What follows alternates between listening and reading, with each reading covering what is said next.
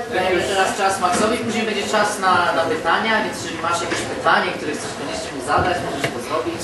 E, później będzie czas jeszcze rozmowy, kawy, herbaty, więc będziesz mógł zadać już później. Dobrze? No dajmy teraz głos Maxowi. Jak już brat mi przedstawił, jestem Max. y, W sumie mam parę lat mówienia. Spojrzę na zegarek, że długo nie używa, jakąś całą historię opowiadać, to za to dwie godziny zajęło.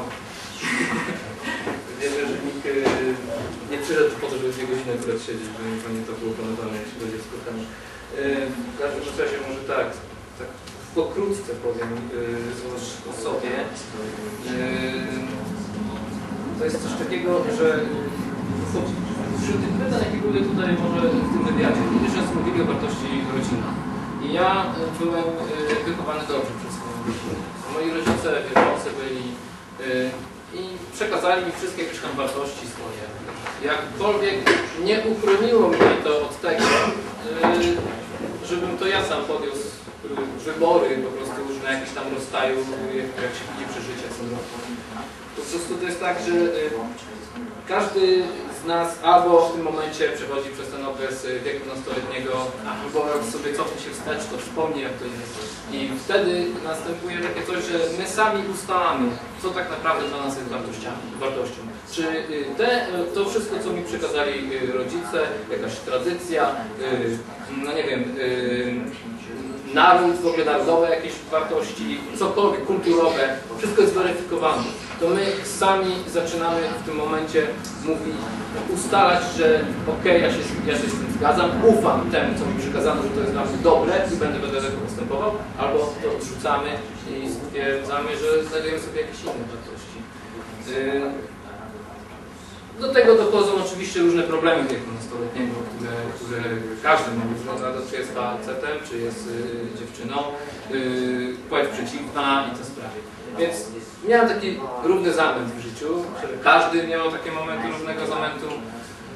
I po prostu w pewnym momencie, mimo że znałem Boga, miałem rolnictwo Bogiem, czytałem Słowo, modliłem się, chodziłem do kościoła tak dalej, czułem obecność Boga, że tak powiem, to y, z czasem moje wybory, y, pogubienie się w całej tej, tej burzy, y, właśnie burzy hormonów związanych z relacją z płcią przeciwną, jakichś tam wierzeń, się spotyka rówieśników szkolnych. Jeden ci mówi o jakiejś filozofii, inny, inny mówi o, o hinduizmie, inny o czymś innym i my w tym wszystkim musimy zająć stanowisko. I po prostu zacząłem wątpić we wszystko, co, co mi przekazano. Po prostu mając 18 lat, y, moja relacja z Bogiem była nadwątlona. Y, gdzieś tam po prostu oszukiwałem swoich y, rodziców. Y, y, miałem jakieś tam swoje y, grzeszki, że tak powiem. I, I one się tak na, naprawdę liczyły w moim życiu. I stwierdziłem, że teraz ja sobie sam znajdę swoje wartości i ja będę weryfikował, co jest dobre dla mnie, a co nie. I po prostu z takim nastawieniem wyszedłem w świat. Y, Dość szybko doprowadziłem do tego, że y, przeprowadziłem się z mieszkania do y, akademiku, jako że zameldowany byłem w innej miejscowości wtedy, więc mimo, że de facto mieszkałem na terenie Szczecina, to, to meldunek świadczył o tym, że mogę dostać ten akademik, czy nie, więc y, mówiłem rodzicom, że potrzebuję jako artysta, wtedy do szkoły plastycznej chodziłem, muszę mieć dostęp do pracowni plastycznej, to wszystko bajki. Tak naprawdę to ja chciałem mieć czas, że nikt mi nie mówi, że nie wolno ci pójść z tymi znajomymi, musisz do tej godziny wrócić, z tym się nie zadawaj, y, tego nie ruszaj. Poszedłem i taki ciężki okres. Moje relacje z rówieśnikami nie układały się za najlepiej, traumy miałem, więc zacząłem sięgać po alkohol. Y, Dużo piłem, tak do lustra.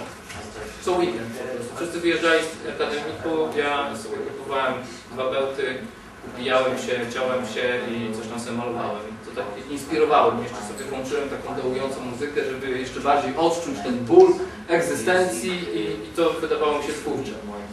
Yy, Któregoś dnia kolega zaprosił mnie do knajpy, tam pojawił się joint i to mniej więcej zauważyłem zmianę. Tak jak zawsze chciałem się niszczyć, miałem jakieś takie poczucie bycia gorszym, to tutaj nagle zacząłem się śmiać, jakieś kolorki się pojawiły, inaczej zacząłem odbierać muzykę, inaczej moja wyobraźnia zaczęła działać.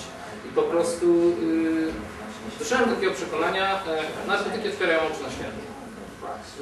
I idąc dalej przez życie z tym przekonaniem, żeby już tak nie opowiadać, y, jak wszedłem w każdy narkotyk szczególnie, to po prostu doszło do y, czegoś takiego, że o ile na początku uważałem, że to poszerzy moją świadomość, że to y, pozwoli mi lepiej grać na instrumentach, potrafię też grać, lepiej namalować jakiś obraz, lepiej napisać wiersz, lepiej cieszyć się tym wszystkim w koło, to y, z czasem po prostu okazało się, że zrobiłem z siebie takiego inwalidę.